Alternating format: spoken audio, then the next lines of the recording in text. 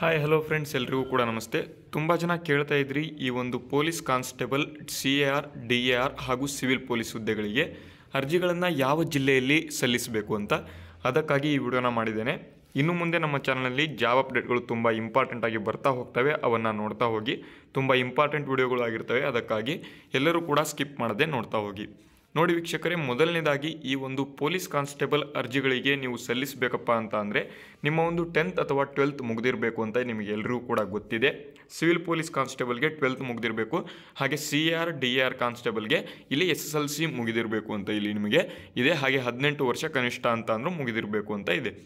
ಈಗ ಮೊದಲನೇದಾಗಿ ಯಾವ ಜಿಲ್ಲೆಗೆ ಅರ್ಜಿಗಳನ್ನು ಸಲ್ಲಿಸಬೇಕು ಈ ಒಂದು ಕ್ವಶನ್ಗೆ ಬಂದ್ವಿ ಅಂತ ಅಂದರೆ, ನಾವು ಈಗಾಗಲೇ ತುಂಬ ವಿಡಿಯೋಗಳನ್ನು ಈ ಒಂದು ಪೊಲೀಸ್ ಕಾನ್ಸ್ಟೇಬಲ್ ಸಂಬಂಧಪಟ್ಟಂತೆ ಮಾಡ್ಕೊಳ್ತಾ ಹೋಗಿದ್ದೇವೆ. ಅದರಲ್ಲಿ ಕಟ್ ಆಫ್ ವಿಡಿಯೋಗಳನ್ನು ಮಾತ್ರ ತುಂಬ ಕಟ್ ಆಫ್ ವಿಡಿಯೋಗಳನ್ನು ಕೂಡ ನಾವು ಮಾಡಿದ್ದೇವೆ.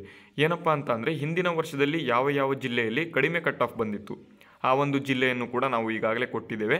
ಮತ್ತು ಸಿ ಆರ್, ಡಿ ಆರ್ ಒಂದು ಏನು ಎರಡು ಸಾವಿರದ ಹತ್ತೊಂಬತ್ತು ಅಥವಾ ಹದಿನೆಂಟರಲ್ಲಿ ಏನು ಎಕ್ಸಾಮ್ ನಡೀತು, ಅದರ ಬಗ್ಗೆಯೂ ಕೂಡ ನಾವು ಇಲ್ಲಿ ಕಟ್ ಆಫ್ಗಳನ್ನು ಕರೆಕ್ಟಾಗಿ ಕೊಟ್ಟಿದ್ದೇವೆ.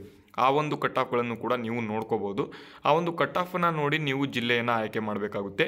ಯಾಕೆ ಅಂತ ಅಂದರೆ ಒಂದೊಂದು ಜಿಲ್ಲೆಗಳಲ್ಲಿ ಒಂದೊಂದು ಕೆಟಗರಿಯವರಿಗೆ ಸ್ವಲ್ಪ ಇಲ್ಲಿ ಕಾಂಪಿಟೇಷನ್ ಇರುತ್ತೆ. ಹಾಗೆ ಬೇರೆ ಬೇರೆ ಕೆಟಗರಿಯವರಿಗೆ ಕಾಂಪಿಟೇಷನ್ ಇರೋದಿಲ್ಲ. ಅಂದರೆ ಕಾಂಪಿಟೇಷನ್ ಎಲ್ಲಿ ಕಡಿಮೆ ಇದೆಯೋ ಆ ಒಂದು ಜಿಲ್ಲೆಯಲ್ಲಿ ನೀವು ಅರ್ಜಿಗಳನ್ನು ಹಾಕಿದಿರಿ ಅಂತ ಅಂದರೆ ನಿಮಗೆ ಪಕ್ಕಾ ಜಾಬ್ ಸಿಗ್ತಕ್ಕಂತಹ ಒಂದು ಚಾನ್ಸಸ್ ತುಂಬ ಇರುತ್ತೆ. ಹಾಗೆ ಎರಡನೇದಾಗಿ ಇನ್ನೊಂದು ಏನು ನೋಡ್ತಾರಪ್ಪ ಅಂತ ಅಂದರೆ ನಿಮ್ಮ ಒಂದು ಕೆಟಗರಿಗೆ ಅಲ್ಲಿ ಆ ಒಂದು ಜಿಲ್ಲೆಯಲ್ಲಿ ಎಷ್ಟು ಹುದ್ದೆಗಳು ಇದ್ದಾವೆ ಅದರ ಮೇಲೆಯೂ ಕೂಡ ಡಿಪೆಂಡ್ ಆಗುತ್ತೆ. ನಿಮ್ಮ ಒಂದು ಕೆಟಗರಿಗೆ ಆ ಒಂದು ಜಿಲ್ಲೆಯಲ್ಲಿ ಎಷ್ಟು ಹುದ್ದೆಗಳು, ಜಾಸ್ತಿ ಹುದ್ದೆಗಳು ಇದ್ವು ಅಂತ ಅಂದರೆ, ನಿಮಗೆ ಸೀಟ್ ಅಥವಾ ನಿಮ್ಮ ಒಂದು ಕಾಲ್ಫಾರ್ ಆಗಿ ನಿಮ್ಮ ಒಂದು ಜಾಬ್ ಸಿಗುವಂಥ ಒಂದು ಸಾಧ್ಯತೆ ತುಂಬ ಇರುತ್ತೆ. ಯಾಕೆ ಅಂತಂದರೆ ಅಲ್ಲಿ ಕಟ್ ಆಫ್ ಕಡಿಮೆ ಬೀಳುವಂಥ ಒಂದು ಸಾಧ್ಯತೆ ಇರುತ್ತೆ. ಅದಕ್ಕಾಗಿ ಇಲ್ಲಿ ಅದು ಕೂಡ ನಿಮಗೆ ತುಂಬ ಇಂಪಾರ್ಟೆಂಟ್ ಆಗಿ ಆಗುತ್ತೆ ಅಂತಲೇ ಹೇಳ್ಬೋದು. ನೆಕ್ಸ್ಟು ಮೂರನೇದಾಗಿ ಇನ್ನೊಂದೇನಪ್ಪ ಅಂತ ಅಂದರೆ, ನೀವು ಅರ್ಜಿಗಳನ್ನು ಸಲ್ಲಿಸುವುದಕ್ಕಿಂತ ಮುಂಚೆ ಹಿಂದಿನ ವರ್ಷದ ಕಟ್ ಆಫನ್ನು ನೋಡ್ಕೋಬೇಕು. ಹಿಂದಿನ ವರ್ಷದ ಕಟ್ ಆಫನ್ನು ಹೇಗೆ ನೋಡ್ಕೋಬೇಕಪ್ಪ ಅಂತ ಅಂದರೆ ಡಿಸ್ಕ್ರಿಪ್ಷನಲ್ಲಿ ನಮ್ಮ ಚಾನಲ್ ಲಿಂಕ್ ಇರುತ್ತೆ. ಏನಪ್ಪ ಅಂತಂದರೆ ನೀವು ಡೈರೆಕ್ಟಾಗಿ ಹಿಂದಿನ ಒಂದು ಚಾನಲ್ಗಳ ಒಂದು D A R C R ಮತ್ತು ನಿಮ್ಮ ಒಂದು ಮುಂದಿನ ಒಂದು ಯಾವ ಜಿಲ್ಲೆಗೆ ಅರ್ಜಿಗಳನ್ನು ಸಲ್ಲಿಸಬೇಕು, ಆ ಒಂದು ಜಿಲ್ಲೆ ಹೆಸರನ್ನು ನೀವು ಹಾಕಿದಿರಿ ಅಂತ ಆ ಒಂದು ಜಿಲ್ಲೆಯ ಕಟ್ ಆಫು ಬಂದ್ಬಿಡುತ್ತೆ. ನೀವು ಎಲ್ಲರೂ ಕೂಡ ಆ ಒಂದು ಜಿಲ್ಲೆಯ ಕಟ್ ಆಫ್ನ ನೋಡಿಕೊಂಡು ಅರ್ಜಿಗಳನ್ನು ಅಲ್ಲಿ ಸಲ್ಲಿಸಬಹುದಾಗಿದೆ. ಈ ರೀತಿಯಾಗಿ ನೀವು ಅರ್ಜಿಗಳನ್ನು ಸಲ್ಲಿಸಬೇಕು. ಮತ್ತು ಇಲ್ಲಿ ಒಂದೊಂದು ಜಿಲ್ಲೆಗಳಲ್ಲಿ ತುಂಬ ಕಟ್ ಆಫ್ ಕಡಿಮೆ ಇರುತ್ತೆ. ಅಂದರೆ ಮೂರುವರೆ ಮಾರ್ಕ್ಸಿಗೂ ಕೂಡ ಸೆಲೆಕ್ಷನ್ ಆಗಿದ್ದಾರೆ, ಆರೂವರೆ ಮಾರ್ಕ್ಸ್ಗೂ ಕೂಡ ಸೆಲೆಕ್ಷನ್ ಆಗಿದ್ದಾರೆ, ಹಾಗೆ ಹನ್ನೆರಡು ಮಾರ್ಕ್ಸ್ಗೂ ಕೂಡ ಸೆಲೆಕ್ಷನ್ ಆಗಿದ್ದಾರೆ. ಈ ರೀತಿಯಾಗಿ ಸೆಲೆಕ್ಷನ್ ಆಗಿರ್ತಕ್ಕಂಥ ಒಂದು ಕಟ್ ಆಫ್ಗಳನ್ನು ಕೂಡ ನಮ್ಮ ಚಾನಲಲ್ಲಿ ಈಗಾಗಲೇ ಕೊಟ್ಟಿದ್ದೇವೆ. ಅವರನ್ನು ಕೂಡ ನೀವು ಕರೆಕ್ಟಾಗಿ ನೋಡ್ಕೊಳ್ಳಿ, ಮತ್ತು ಅದನ್ನು ನೋಡಿಕೊಂಡು ಅರ್ಜಿಗಳನ್ನು ಸಲ್ಲಿಸಿ. ಇನ್ನೂ ಕೂಡ ಒಂದು ತಿಂಗಳು ನಿಮಗೆ ಟೈಮ್ ಇದೆ ಅರ್ಜಿಗಳನ್ನು ಸಲ್ಲಿಸೋದಕ್ಕೆ.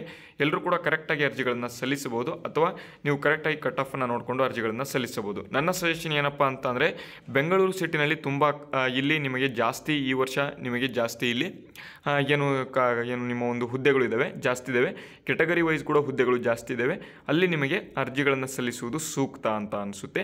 ಆದರೆ ನಿಮ್ಮ ಒಂದು ಉತ್ತರ ಕರ್ನಾಟಕದ ಒಂದು ವಿದ್ಯಾರ್ಥಿಗಳು ತುಂಬ ಜನ ಇರ್ತೀರ, ಅವರು ಬೆಂಗಳೂರಿಗೆ ಅರ್ಜಿಗಳನ್ನು ಸಲ್ಲಿಸಿ ಅಲ್ಲಿಗೆ ಎಕ್ಸಾಮ್ ಬರೆದು ಅಲ್ಲಿ ನಿಮಗೆ ಕೆಲಸ ಮಾಡುವಂಥ ಒಂದು ಸಾಧ್ಯತೆ, ಸ್ವಲ್ಪ ನಿಮಗೆ ಕಷ್ಟ ಅನ್ನಿಸ್ಬೋದು ಆದರೆ ಅಲ್ಲಿ ನಿಮಗೆ ಪೋಸ್ಟ್ಗಳು ಸ್ವಲ್ಪ ಜಾಸ್ತಿ ಇರೋ ಕಾರಣದಿಂದಾಗಿ ಹೇಳ್ತಾ ಇದ್ದೇನೆ.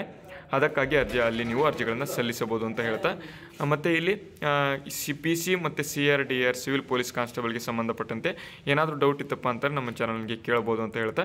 ಈ ವಿಡಿಯೋ ಹೆಲ್ಪ್ಫುಲ್ ಆಗಿದ್ದರೆ ವಿಡಿಯೋಗೆ ಲೈಕ್ ಮಾಡಿ, ಸಬ್ಸ್ಕ್ರೈಬ್ ಮಾಡಿ, ಮತ್ತು ನಿಮ್ಮ ಎಲ್ಲ ಸ್ನೇಹಿತರೊಂದಿಗೆ ಶೇರ್ ಮಾಡಿ ಅಂತ ಹೇಳ್ತಾ ವಿಡಿಯೋನ ಮುಗಿಸ್ತಾ ಇದ್ದೇನೆ.